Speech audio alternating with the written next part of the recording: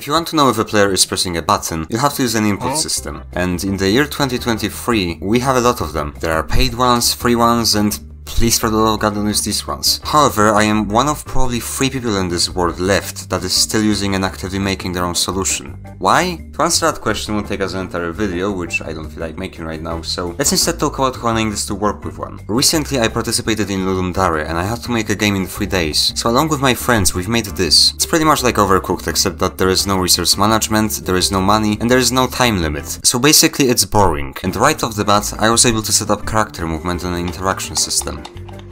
Well, garbage. After a lot of investigating, it turns out that my input system was being updated multiple times a frame. Why would that be an issue? Well, in my input system there are many types of key presses. When you start holding down a button, the key down event will fire for one frame, then the key will be marked as pressed until you will lift your finger. And whenever that happens, the key up event will fire also for a single frame. Because the system was being updated multiple times, the key down and key up events would have already been skipped when you decided to read the input. This was caused by faulty registration code. Whenever the game is running, I use its update cycle for updating, but because my input system also works when the game isn't running, I switch to the editor's update cycle whenever that happens. Well, it turns out I forgot to unregister the system from the editor, thus the problem at hand. Well, it only took 10 minutes for me to waste 1 hour trying to fix this thing. Isn't that productive? But after that I've continued working on the game without any problems and surprisingly without any Unity problems either. Every time I make a jump game I use the newest long-term support version of Unity. And let me tell you, there is a reason I still use 2020 for most of my projects. Unity not compiling scripts, Unity crashing because it doesn't know a script exists, should not be capturing and there is a hot control, Microsoft copyright 2022, Control Z making the editor piss itself, and ProBuilder. Can someone please make something better?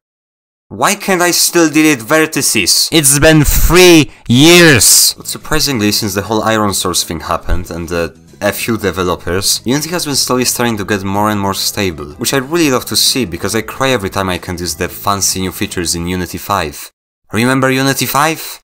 I do. I started at 4. It even had Windows XP support, holy garbage. Also, please stop saying the older versions of Unity cause performance issues. I literally have been using nothing but all of this junk and it's fine. Oh yeah, we're making a game or something. Our project was slowly coming together. Jak ja się patrzę na twój kod, co wiesz co ja teraz czuję?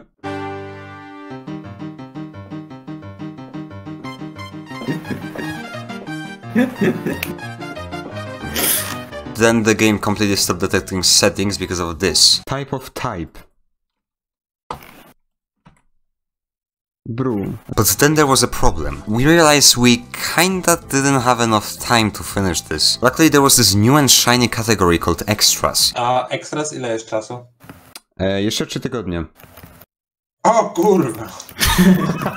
so it was settled. This gave me time to work on other features which aren't included in Cablebox yet. Cablebox being the name of the input system because I wouldn't call it input system, that is dumb, why would you do that? And one of them was prompts. I wanted to have a bar at the bottom listing every available action, kinda like in Celeste. So how do we convert Cablebox key ID to an image?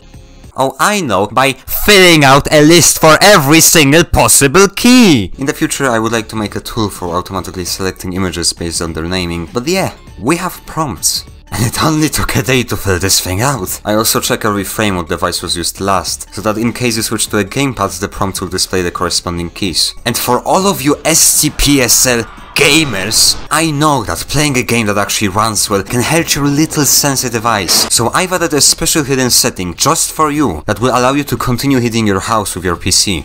Perfection. However, there is one thing I didn't implement. Menu navigation. Oh, and I also guess I didn't do serialization. Oh, whatever, who cares? Like, you're gonna play this game once, at most, okay? Anyways, to make Cablebox support menu navigation, I would have to create my own event system, but that's a can of worms I couldn't be bothered to take care of at that time. Overroasted, now with gamepad support, except for the menu. Speaking of the menu, I've messaged my artist friend and he told me that he doesn't care, just make a menu. So I sent him this. This is how the menu turned out in the end, and it definitely wasn't caused by a custom scene manager that was a little bit wonky with loading skyboxes. After way too much time, the game was done. But this is where I faced a problem. WebGL. This sad piece of garbage allows developers to make their games run in a browser. However, WebGL sucks. It's slow, it's ugly, it doesn't support certain features, and it doesn't support DLLs. For those that don't know, DLLs are compiled libraries that can be written in any language and used with, but not limited to Unity. Most developers will probably never have to use them. However, this game was using Xinput for reading gamepads. Xinput is written in C++.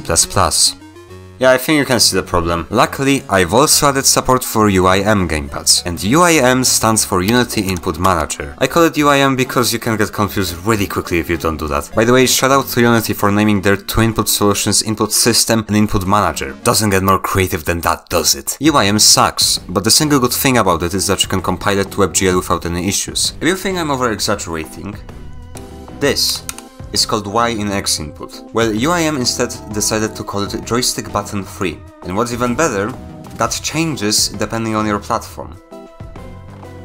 I wish I was making this up. So yeah, you can now use gamepads in the browser, but now I cannot sleep because I know that it uses UIM.